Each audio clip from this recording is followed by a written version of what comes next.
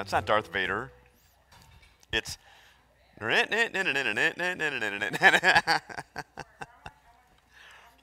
anyway, we are in 1 Kings uh, 18 ish, as it says. And um, we'll start into it, get into it, and then um, uh, as people trickle in, if people trickle in, they can join in. Please direct them in the right scriptural place. All right, let's uh, let's pray. Thank you, Father, for bringing us together today. We uh, come and, and once again seek to hear your Spirit speak to us and reveal to us through your word the truth that, in the words of your Son, sets us free. And to walk in that freedom, we walk by the Spirit, as Paul writes. So may what we learn today and what you reveal to us today not only settle in our minds, but give glory to who you are in our lives. And this we pray in Jesus' name. Amen. This, as we go into it, this section, is a very profound example of something that we talk about frequently, but um, is not all too, all too difficult, all too easy, I should say, to grasp. And the best way to address it is this word kingdom as we see in all of Jesus' ministry, this is his proclamation, kingdom. If you go back to Moses delivering people out of Egypt, God says through Moses that Israel will be a kingdom of priests and that um, this, is, this has been destined since Abraham. So, this is very important to understand because it runs through all of Scripture, even when the word itself is not being used. I've said before, and it's good to repeat to let it sink in without getting too technical. A kingdom is whatever you have say over.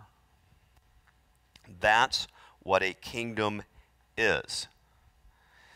And we read in Genesis that God, in his generosity and in his um, intention, creates us in order for us, being made originally in his image, to share in his reign or having say over. And you see this probably most profoundly in Genesis 2 when God himself brings all of his creatures before Adam and instructs Adam to name them. It's not, there, that is a definite example of sharing kingdom authority. Whenever you name something, you have authority over it, even if it's a pet.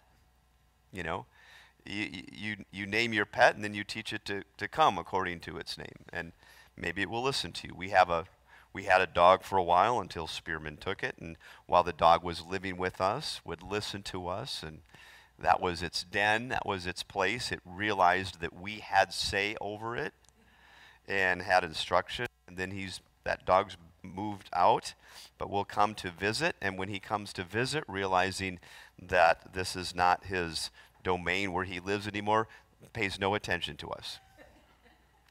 We don't have say over that dog anymore. It's like, come here. All right. That's a minor example, but that is an example. Starting with chapter 17 is the introduction of Elijah. And God has say, if you will, or is revealing his word, which has say to Israel through the prophets.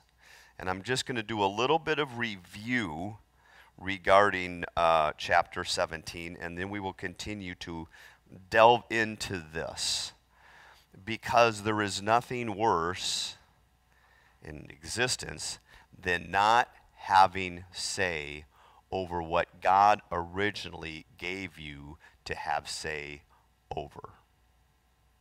Whether not being able to control your thoughts, not being able to control your emotions, or not being able to have control over your body.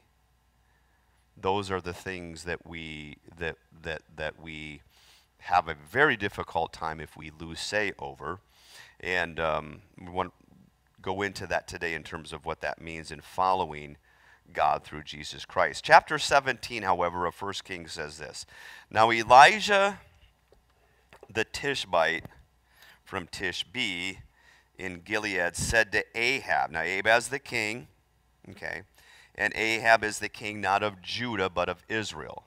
They're already in rebellion. As the Lord, the God or Elohim of Israel lives, whom I serve. That indicates kingdom. He has say over my what I say in this regard, whom I serve. If you serve someone, they have say over. So he's, in, in, essence, whom I serve, there will be neither dew nor rain in the next few years except at my word. This is kingdom language.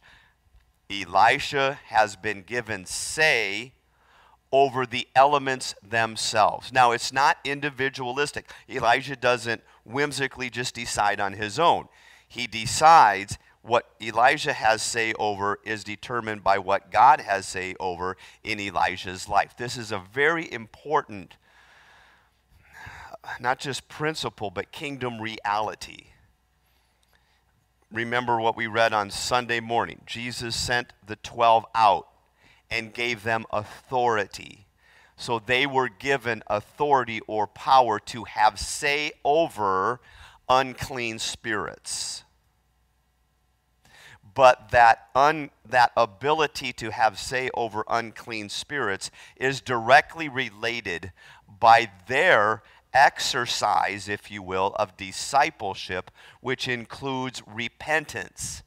Repentance is a continuous not just a study, but a practice of having God have say over your life, over every part of your life. So, the practice of having the Lord have say over your life is discipleship. And it starts in, in a very profound manner with the 12 by Jesus saying, Drop everything you're doing and when you drop everything and you follow him, it is in a very practical manner. He is having say over your life, your schedule in particular, 24 7. So Elisha is exercising this. The word of the Lord, then, in verse 2, came to Elisha Leave here, turn eastward, and hide in the Kerith ravine, east of the Jordan. You will drink from the brook and I have ordered the ravens to feed you there. So he does so. This is in contrast, remember, with, with the other um, prophet who was given instructions and said, When you go and you, you prophesy against this altar, you come right back, don't go to the right or left. But another prophet tricked him. This is the exact opposite of this. Um, so Verse 5 So he did what the Lord had told him. He went to the Kerith ravine east of the Jordan and stayed there.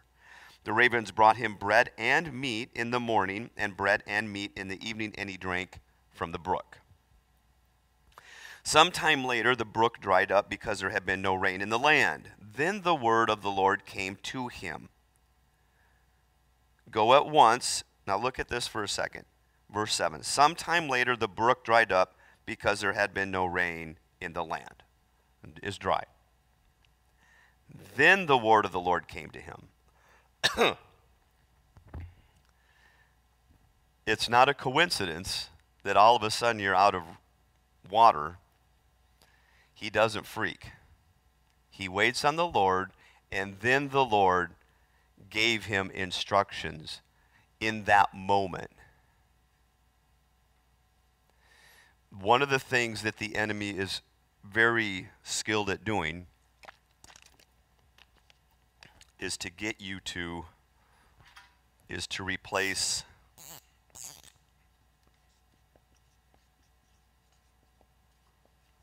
listening which is key and replaces it with worry. You can't do one of these is going to dominate. And it's it's impossible to listen to the Lord if you are consumed with worry. And worry cannot exist when your posturing is listening to the Lord. Those two are a practice. We're practicing doing this. No one perfects it, it's a lifelong practice. So, the, the, the brook dries up in verse 7, verse 8. The word of the Lord came to him Go at once to Zarephath of Sidon and stay there. I have commanded a widow in that place to supply you with food. So he went to Zarephath. When he came to the town gate, a widow was there gathering sticks. He called to her and asked, Would you bring me a little water in a jar so I may have a drink? As she was going to get it, he called, And bring me, please, a piece of bread. As surely as the Lord your God lives, she replied, I don't have any bread. Only a handful of flour in a jar and a little oil in a jug. I am gathering a few sticks to take home and make a meal for myself and my son that we may eat it and die. Well, that's not helpful. now, what this is a very profound account here. This is what her plan is.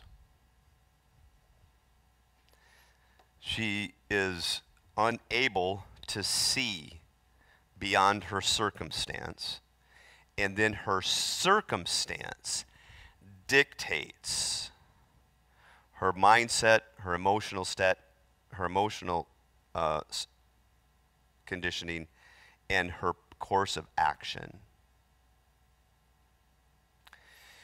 Even though the Lord has instructed her to do what she's doing in terms of meeting Elisha, she is unable to see beyond her circumstances and therefore her circumstances are determining what she thinks, feels, and does.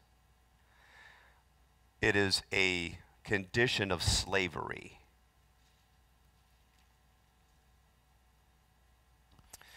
The Jews, to the Jews who had believed in Jesus, he said, If you continue in my word, you are really my disciples.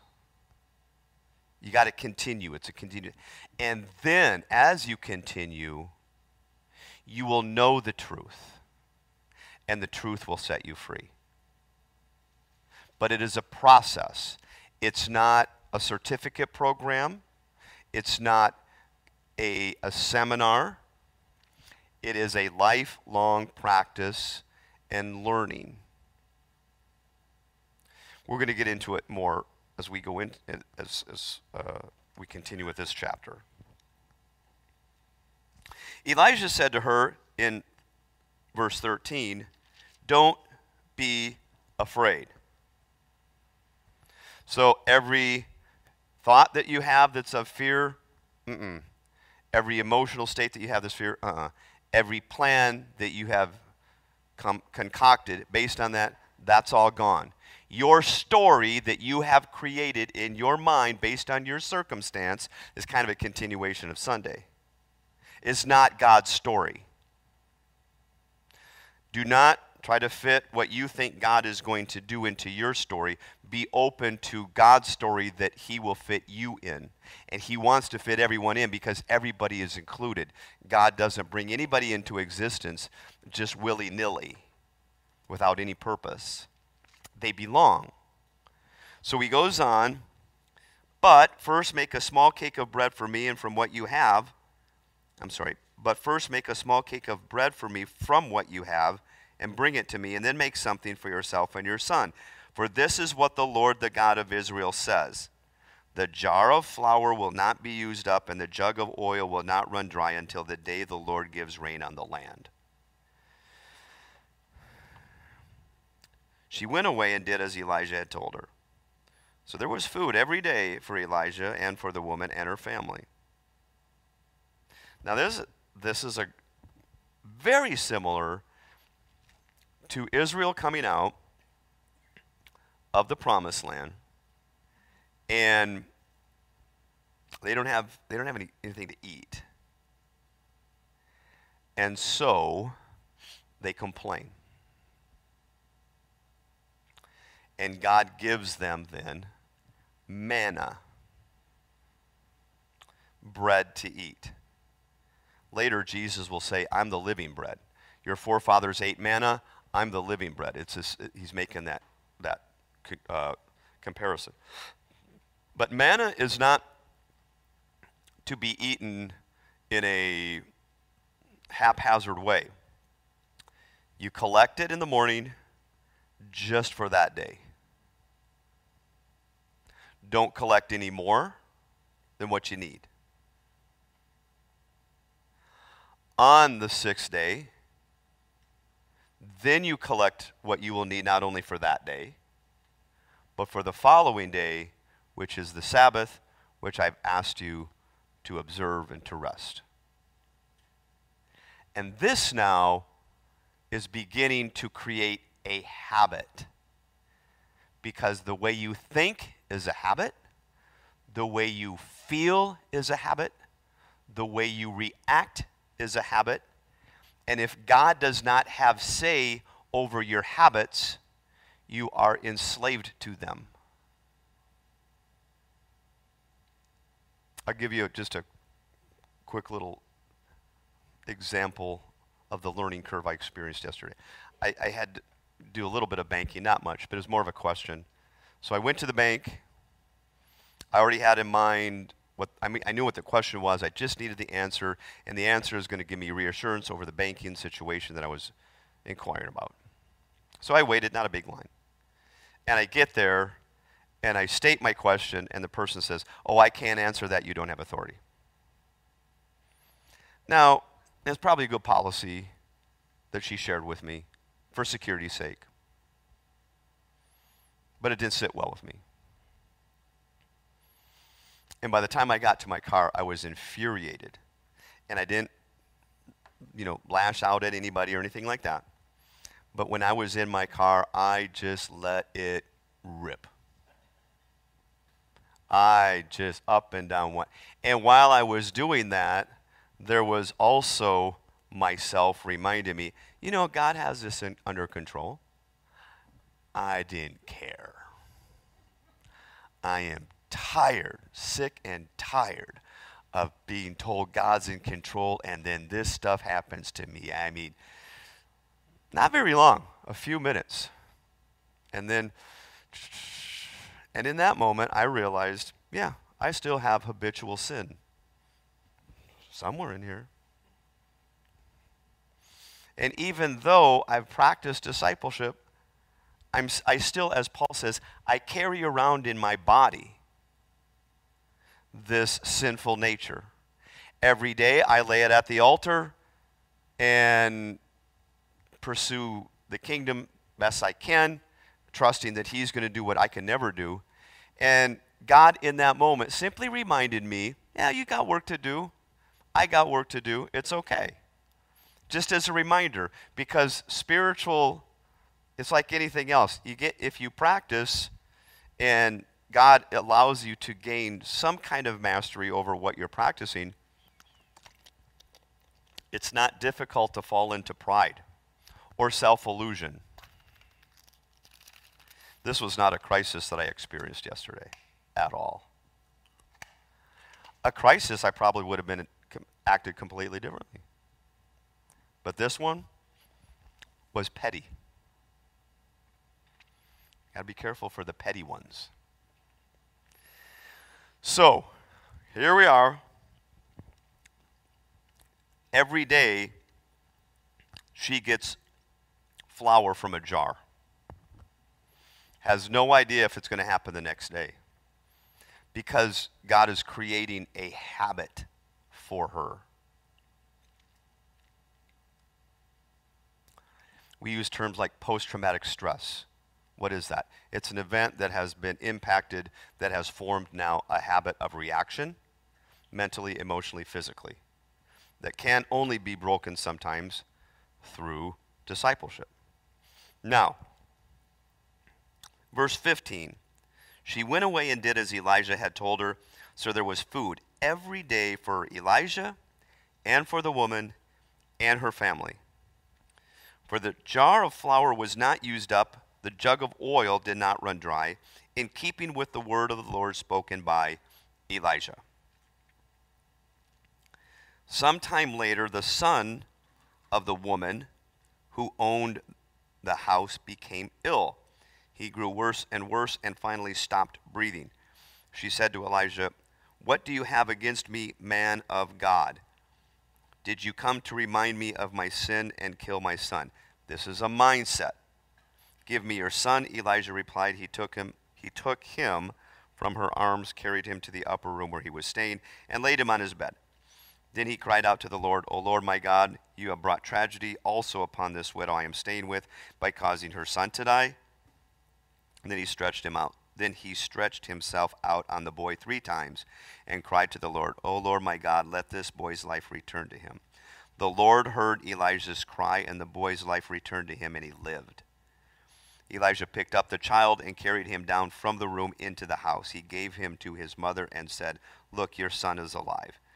Then the woman said to Elijah, Now I know that you are a man of God, and that the word of the Lord from your mouth is true. Now you know not, didn't know with the jar. The jar wasn't enough.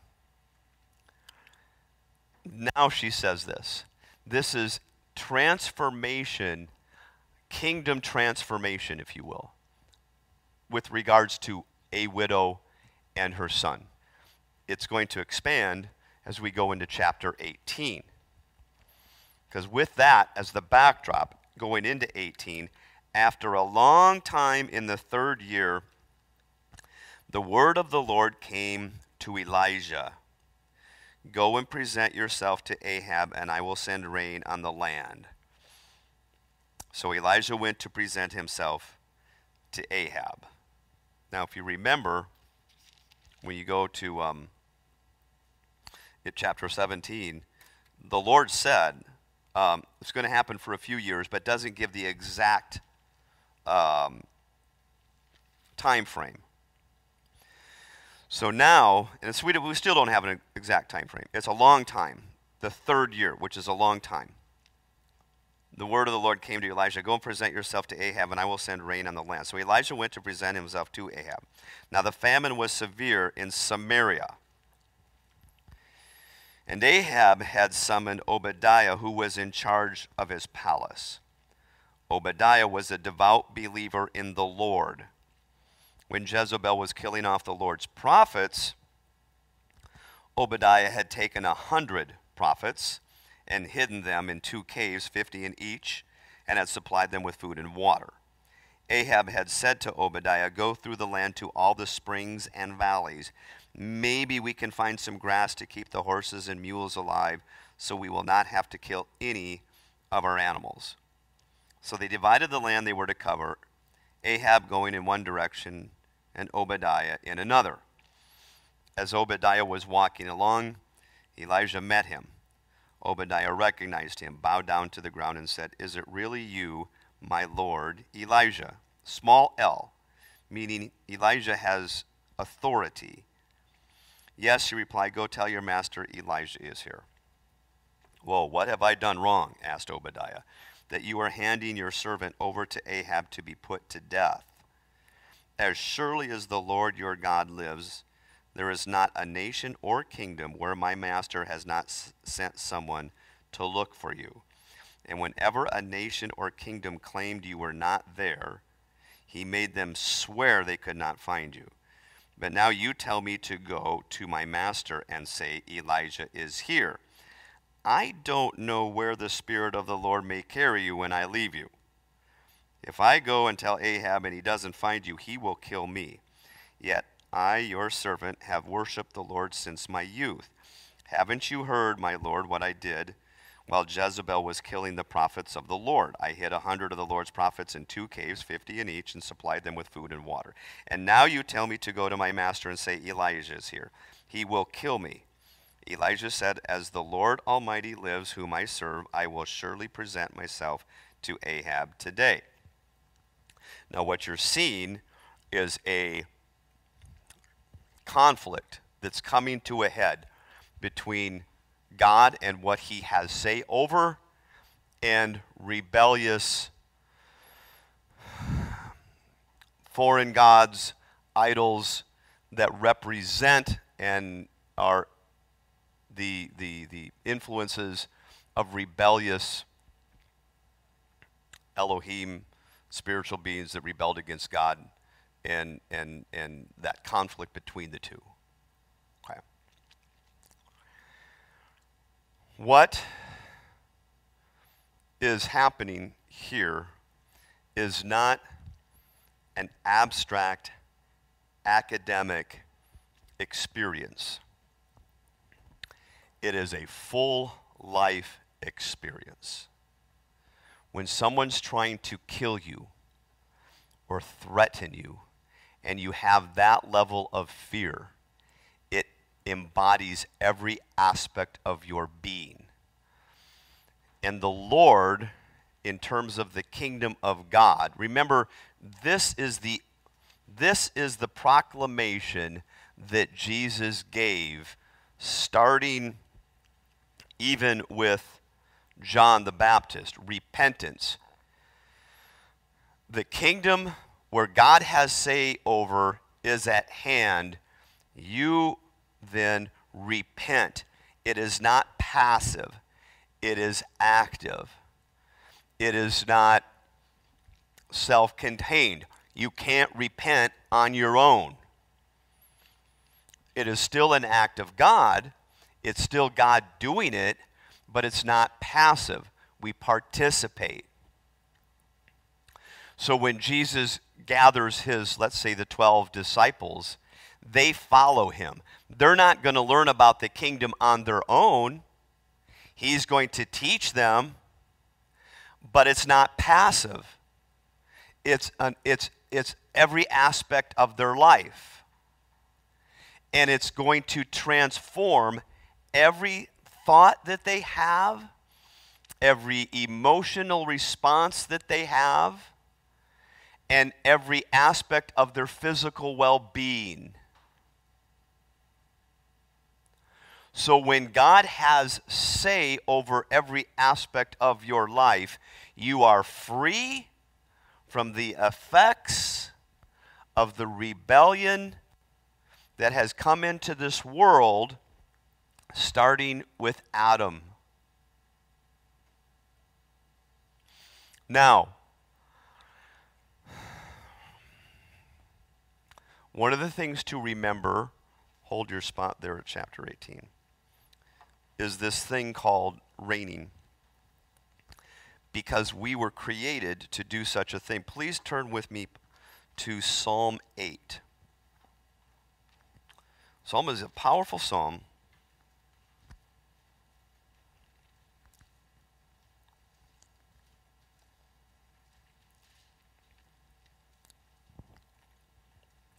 It is a psalm of David. David speaking prophetically um, writes this out.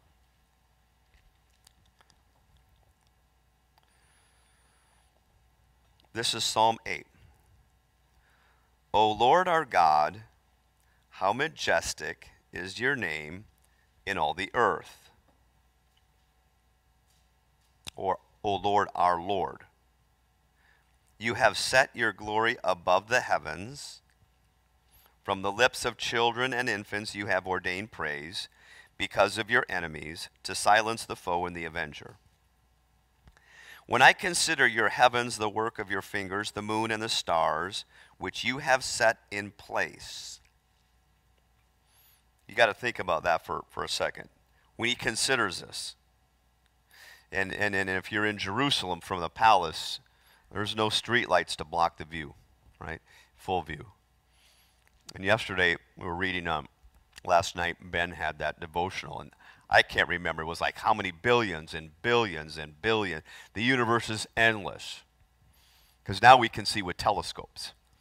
And you look at that and it can make one feel, boy, I am really, really, really, really insignificant.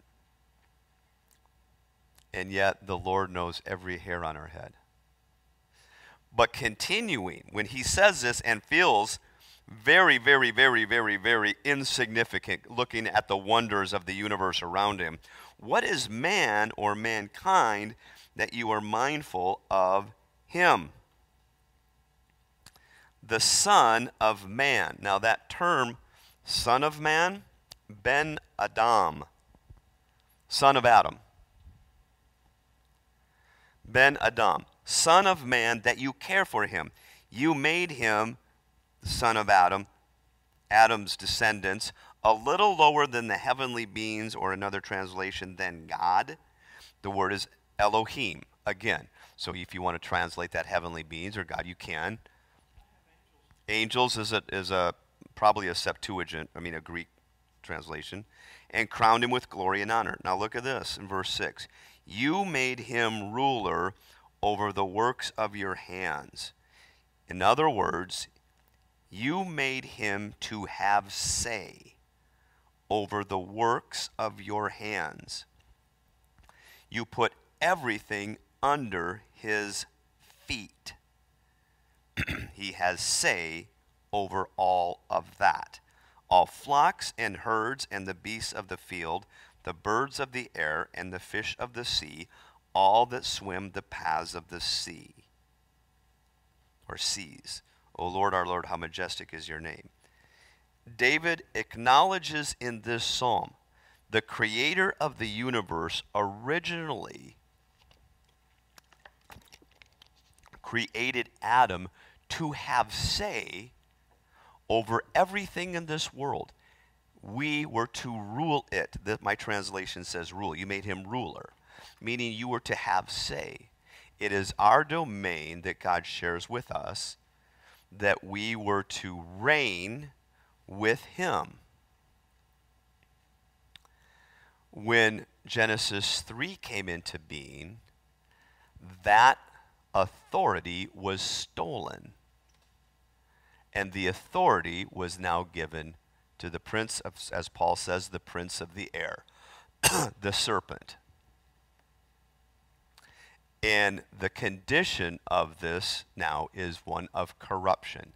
Everything is in the process of corruption. Meaning, you may take a, a peach and set it there, and it doesn't look like it's corrupting, but give it a few days and it will. Uh, you may go back if you're a film person and look at old films with, oh, I don't know. Um, an old movie star um, and look at him now, that's corruption. Was not intended. And in addition to that state of being, or we call it sin, corruption, our authority has been stolen. We don't have authority to say what we want. We can try to use our best abilities with tools, but it's very limited. If there's going to be a drought, there's going to be a drought. If there's going to be disease, there's going to be disease. That authority that we had to reign with God was stolen from us. That's why it's frustrating. And discipleship is learning entirely to realign ourselves with the reign of God, with the kingdom of God, where He has say over, in order for Him to realign our character in order for us to have say over. And it starts with our character. Um, I was going to go to Hebrews, but instead I want to swing over to Romans just head on out that direction. We read it today, but I want to redo, uh, revisit it again. Romans. And let's take a look at. Uh, let's take a look at chapter 5. yeah, we were just talking about that because we read it earlier today over in Bel Air. I said, "Gosh, you guys are studying Saturday morning, and and I think we're covering it someplace else." Anyway, you can't you can't exhaust it. I mean, it's just it's an it's inexhaustible this this letter. But chapter 5 Paul says, "Therefore since we have been justified through faith." Uh, that's a big sentence. I don't have time to delve into it. But that being the, the, the, the, the context, let us or we have peace with God through our Lord Jesus Christ, through whom we have gained access by faith into this grace in which we now stand.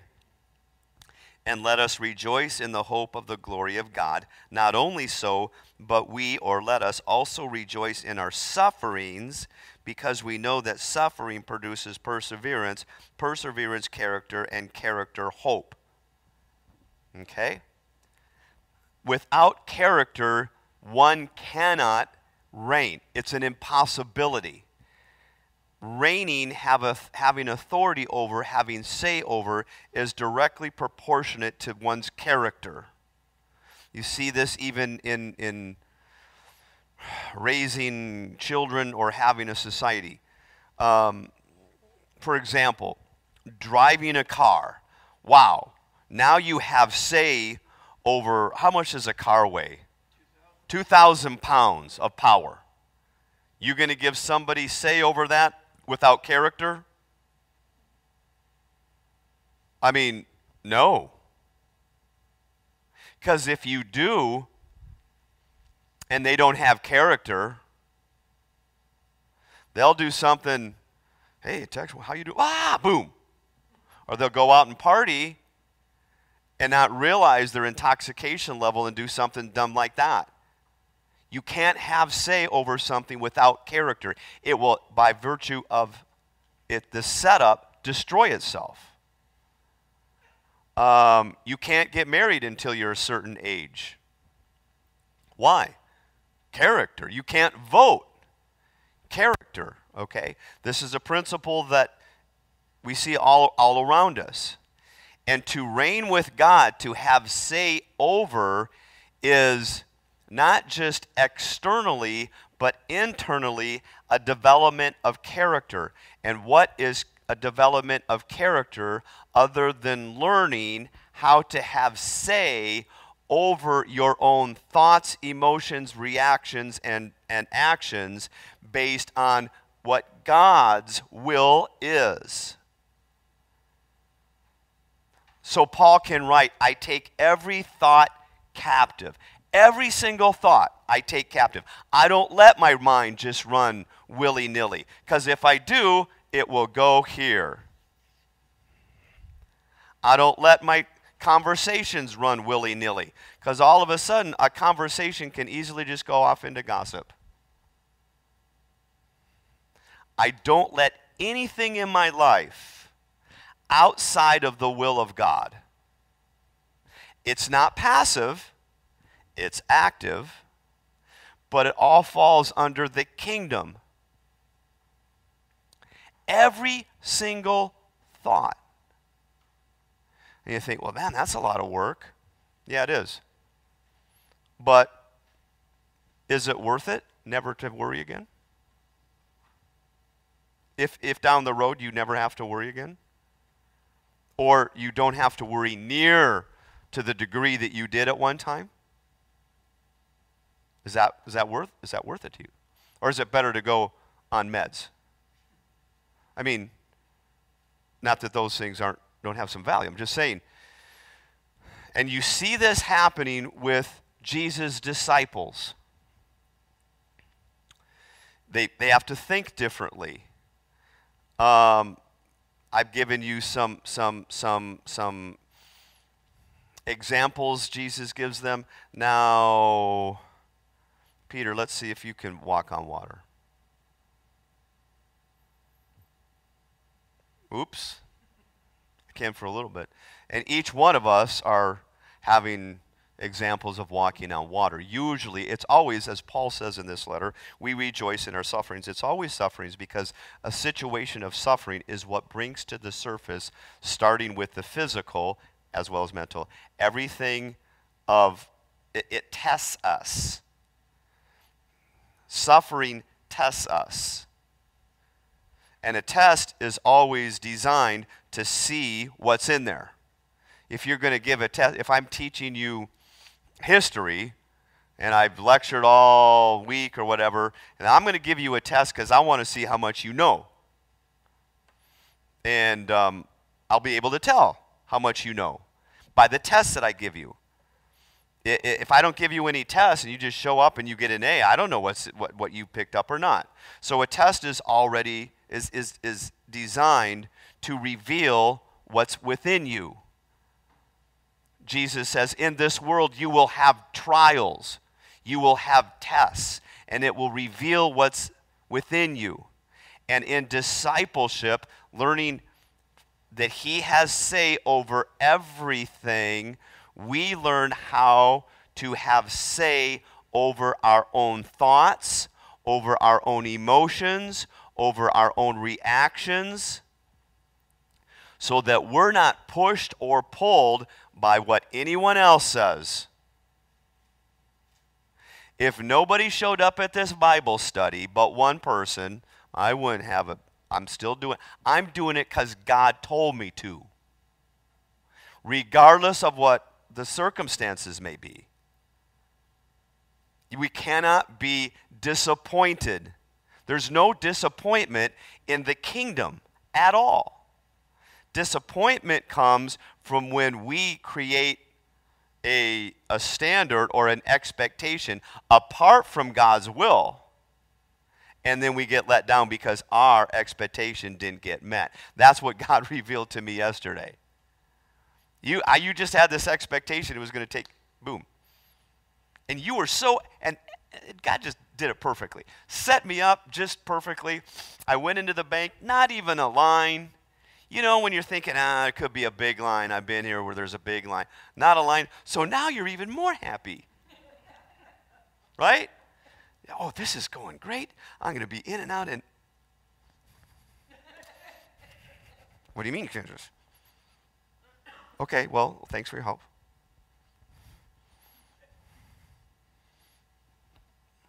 That was there like the whole time.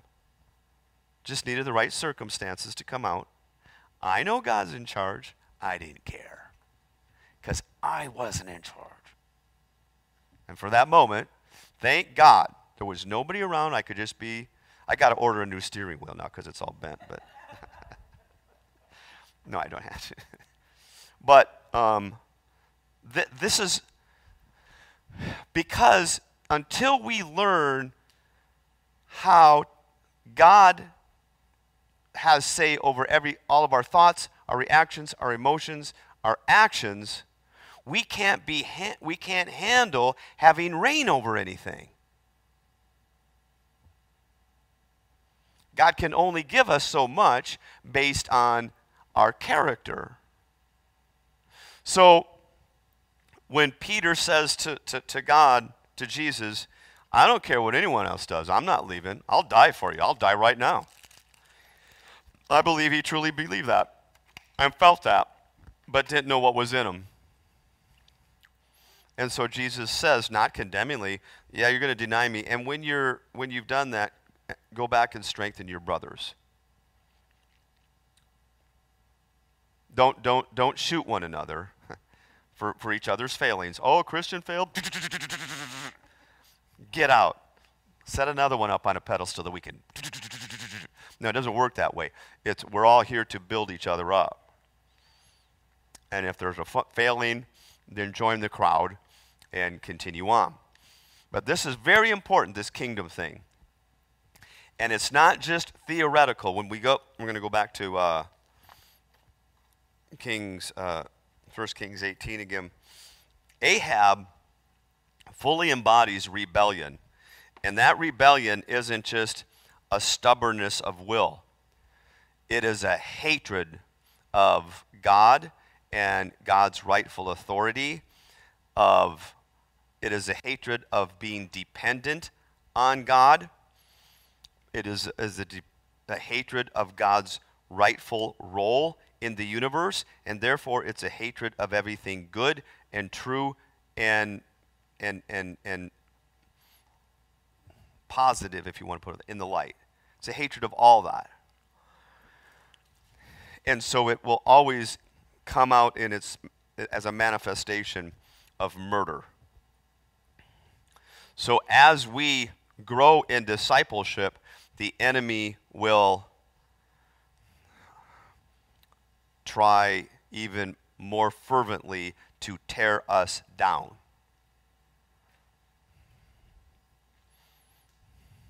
Sometimes that'll be if your weakness is physical.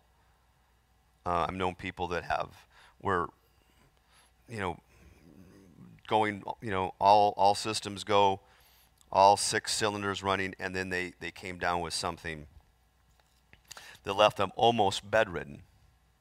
And nobody could, nobody could figure it out. Well, now what are you going to do? Every single moment of every, of every single minute of every single hour is a, is a, is a battle. No, I'm not going to get disappointed. No, I'm not going to get discouraged. No, I'm not going to. But that is a huge battle. God's in control of my body. He'll heal me when He does. And in the meantime, I'll wait. Yeah, but look at these other people. I mean, the enemy is just relentless. Don't you want to be like this servant? They're up and maybe God doesn't favor you as much because look at this person. Oh, just the accusations, accusations, accusations, accusations. This is discerning, as Paul says, we're learning to discern between the spirits.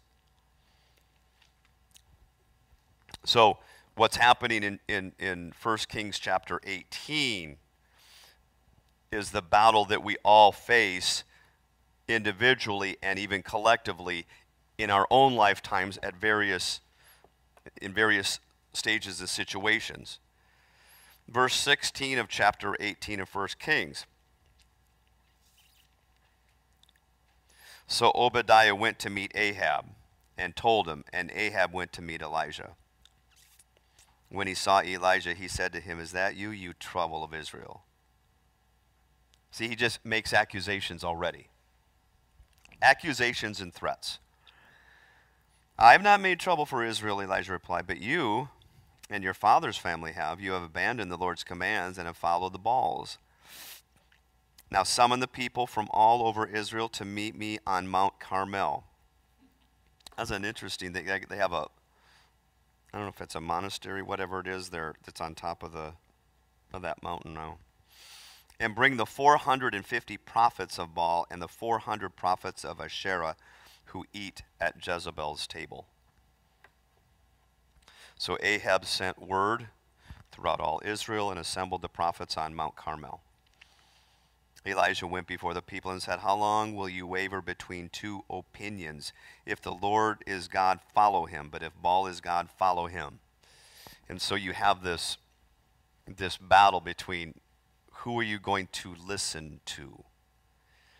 If the Lord says, I know every hair on your head and I care for you, then no matter what physical diagnosis comes down, it the diagnosis it, diagnosis itself is a certain reality, but how we react to it, how we think about it, and how we feel about it is all under our control if we learn how to listen to God and allow Him to have say over our thoughts.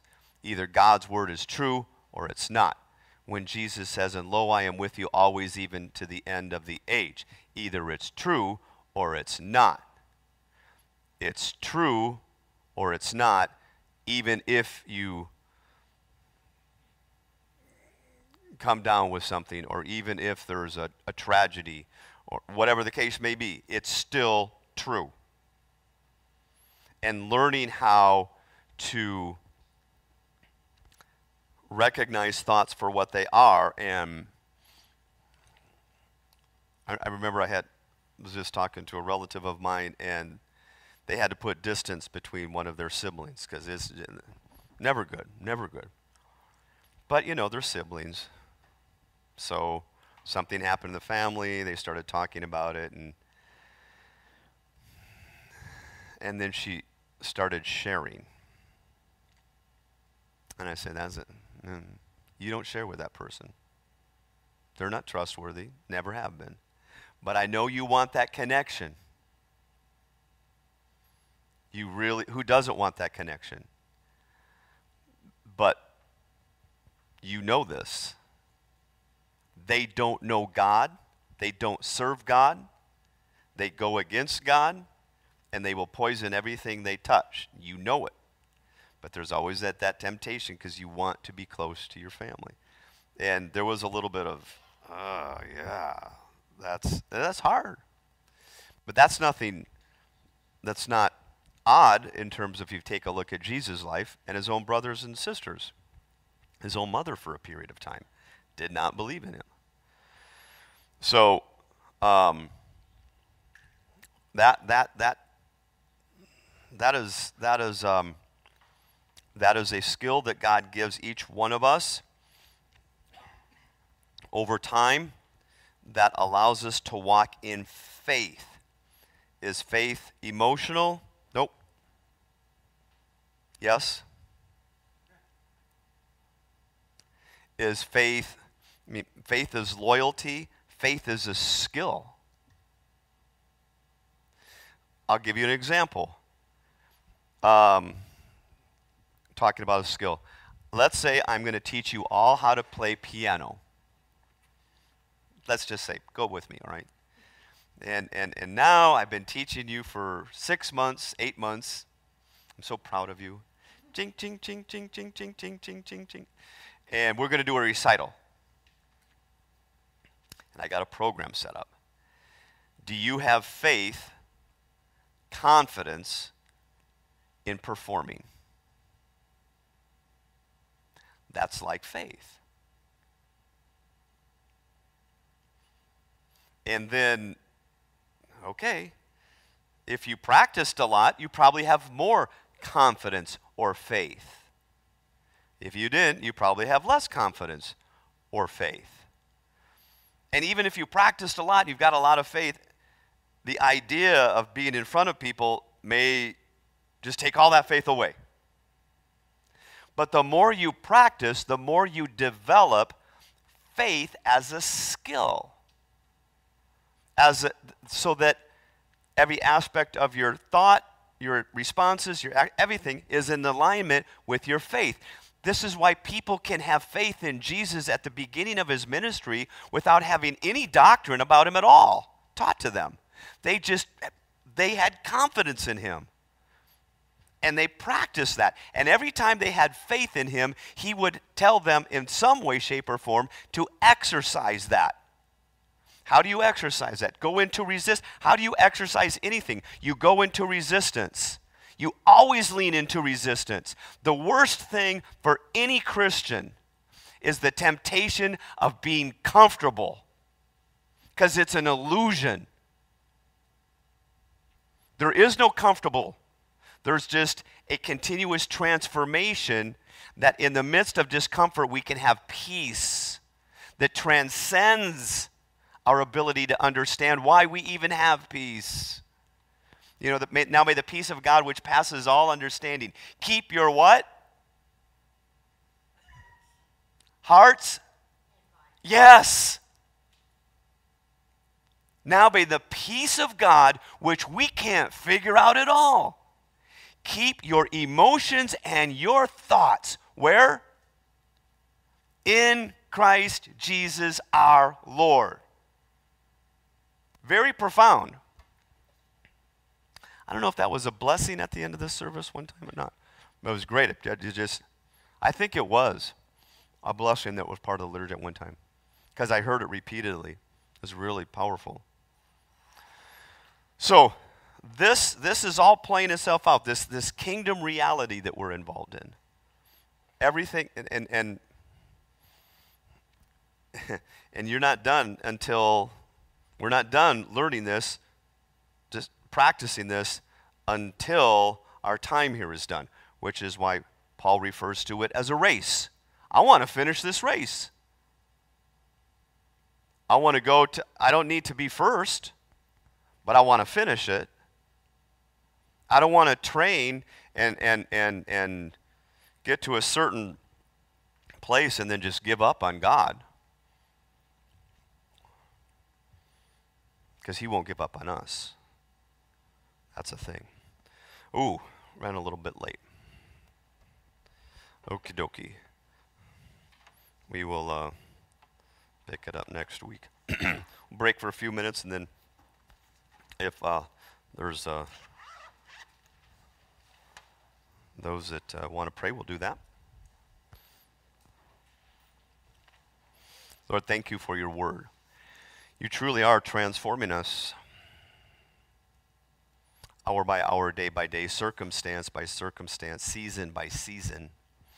And as we're being transformed, we stand in awe of your goodness, of your faithfulness, of your truth that truly does set us free. As we go through this week, may all that we think and say and do give glory to who you are. In Jesus' name, amen.